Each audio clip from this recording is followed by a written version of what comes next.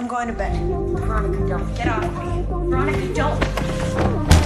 Touch me again and I'll choke the life out of you.